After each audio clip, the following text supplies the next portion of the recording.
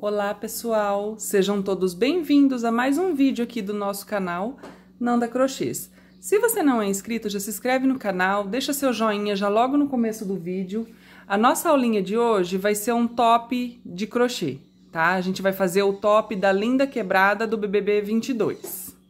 Gente, para vocês que viram o top dela, aquele top, eu não sei se é feito de fio de malha ou de barbante, mas é bem grosso, tá? Então, eu vou fazer aqui com o que eu tenho em casa, que no caso eu tenho aqui o barbante número 8, tá? É, ele é feito na cor amarela. A cor rosa vai ser só para fazer o, o fiozinho para prender no meio, tá?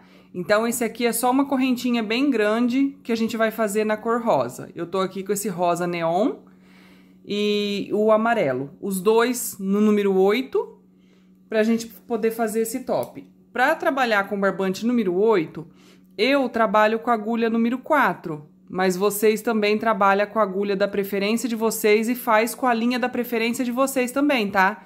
Se vocês quiserem fazer com linha fina, faz com a linha da preferência de vocês. Eu vou ensinar vocês como que eu meço é, o tamanho do top, tá? Porque aí em qualquer linha vai dar certo.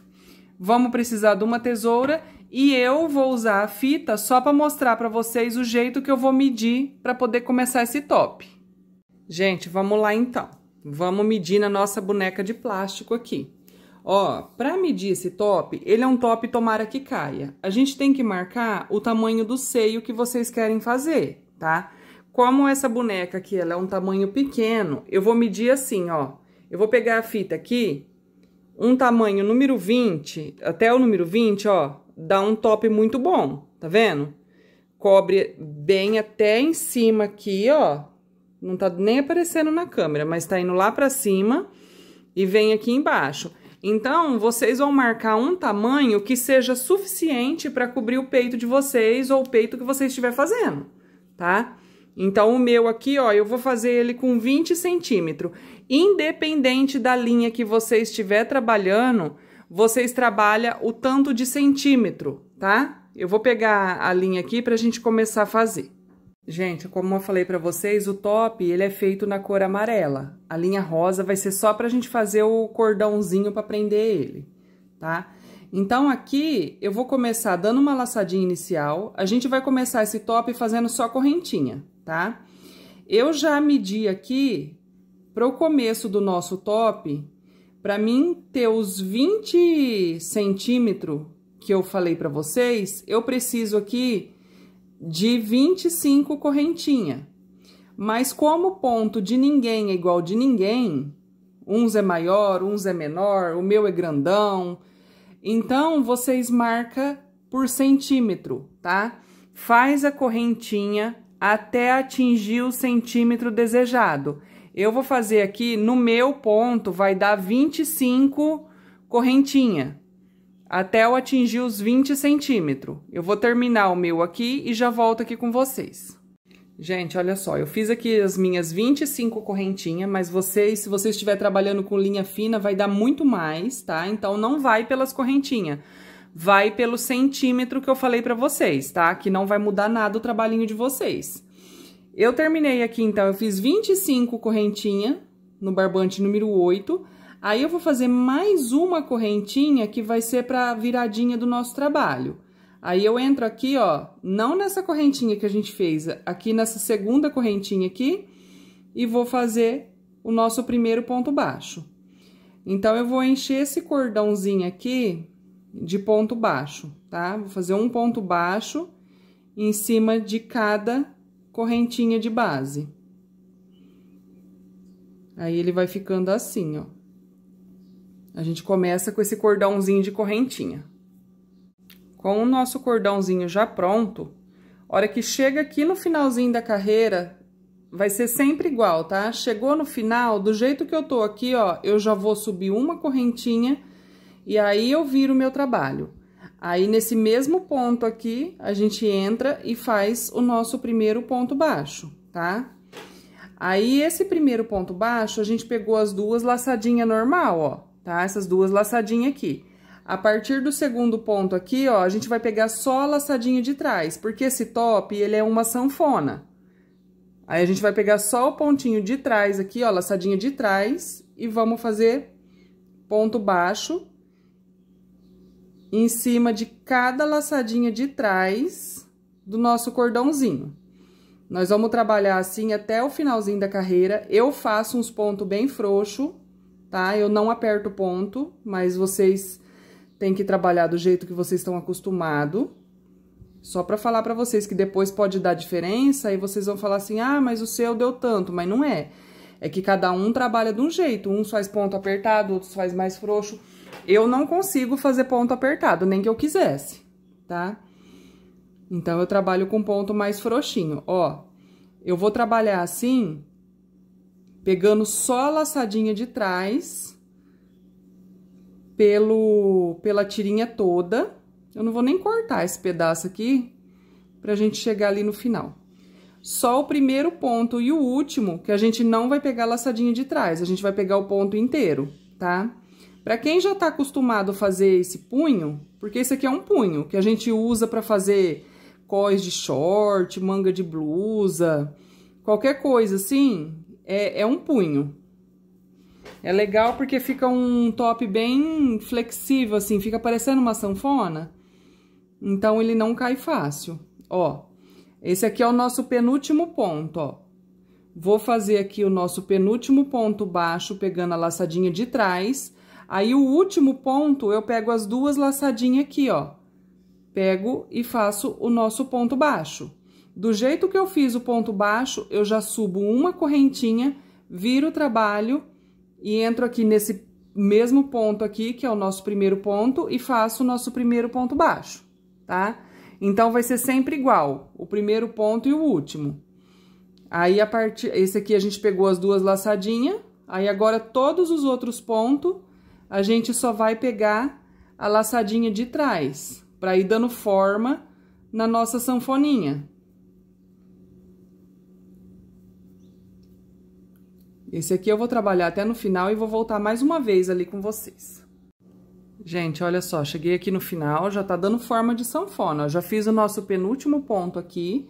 Aí, o último ponto, a gente pega as duas laçadinhas e faz o nosso ponto baixo. Sobe uma correntinha, vira o trabalho, faz o nosso ponto baixo aqui nesse primeiro ponto aqui. E já ficou certo aqui o primeiro ponto, ó. Então, vocês não esquecem que o primeiro e o último é pegando as duas laçadinhas. E o restante, ó, todo o trabalhinho da gente é pegando só a laçadinha de trás. Aí, como que a gente vai fazer agora? A gente vai ter que trabalhar nesse vai e volta para fazer a nossa sanfona até o tamanho desejado, tá?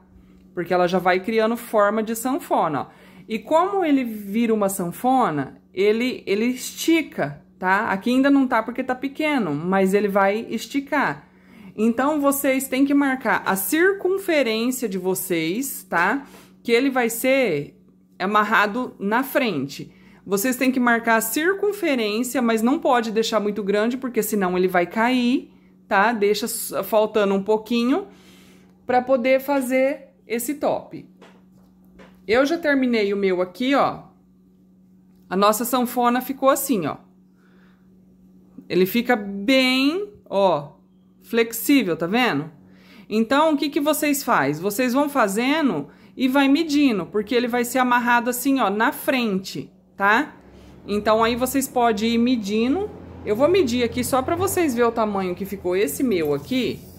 Mas esse aqui eu tô fazendo por aquela boneca de plástico nossa lá, tá? Ó, o meu aqui ficou com 60 centímetros, tá? Mas vocês têm que ir pela circunferência que você estiver fazendo. Se vocês fizerem isso aqui muito em cima, muito largo, que nem... Vamos supor que vocês têm 60 de, de circunferência. Se vocês fizerem a 60, na hora de colocar o top, ele vai cair. Ele vai cair por quê? Porque ele vai esticar. Então, tem sempre que colocar uns 10 centímetros menor, tá? Eu aconselho vocês, assim, aí medindo, ou então colocar uma alcinha depois, que no caso o top da Lin não tem alcinha, então eu vou fazer igual dela, mas vocês podem colocar uma alcinha se vocês quiserem. Aí agora, com o nossa, a nossa, nosso top já tá pronto, nós vamos fazer é, a tirinha que vai amarrar. Essa tirinha que vai amarrar é só uma correntinha. Vocês vão fazer um cordão de correntinha bem grande, tá? É só isso aqui, ó. Tá vendo? Só correntinha, que todo mundo tá acostumado a fazer. Esse top qualquer iniciante consegue fazer, gente. Aí, esse topzinho aqui, o que, que a gente vai fazer? Ó, eu vou colocar ele assim. Eu já tô com o meu cordãozinho aqui, ó. Fiz um cordão bem grande. Aí, o que, que vocês vão fazer? Vocês vão passar como se fosse um cadarço de, de tênis, tá? Ó, eu coloquei aqui, vou colocar aqui, só coloca pra, de um jeito pra não ficar... Pra não ficar torto, né? Vocês têm que basear assim, ó. Que nem eu coloquei aqui, ó. Coloca sempre no mesmo rumo, tá? Mede aqui. Gente, é um top muito fácil de fazer.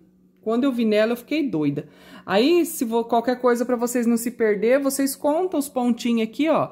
Colocou aqui, pula um, dois, três, aí vem aqui, ó, sabe? É para passar um cadarço, igual um cadarço de tênis. Eu vou passar o meu aqui, vocês já viram como que é. A gente passa de baixo para cima para amarrar em cima. Vou vestir na nossa modelo para vocês verem como que ficou legal esse top aqui. Gente, olha só, tô começando a mostrar das costas. Fica muito legal. Olha só, ficou igualzinho dela. Aí, ó, a frente dele ficou assim, ó, tá? Olha que lindo que fica. Aí, o tamanho é igual eu falei pra vocês. Vocês vê a circunferência que vocês querem. Porque vocês vê, ó, na parte do peito aqui, ó, tá mais esticada. Por quê? Espicha. Pra não ficar uma coisa caindo depois, tem que fazer um tanto menor tá? Não vai fazer em cima, não, porque senão vai cair. E o que, que eu dou de ideia para vocês? Colocar uma alcinha. Faz umas correntinhas ou amarela ou rosa e faz tipo uma alcinha, se quiser, porque eu quis fazer igualzinho dela. Ai, gente, olha, ficou muito legal, ficou bem parecido com o dela. Eu espero que vocês tenham gostado da nossa aulinha simplesinha de hoje, mas a hora que eu vi aquele top eu fiquei doida, tá? Eu espero que vocês tenham gostado, se inscreve no canal, deixa um joinha aí, eu vou deixar umas fotos para vocês aqui, de frente, de costa, tá? E fiquem todos com Deus e até a próxima aulinha.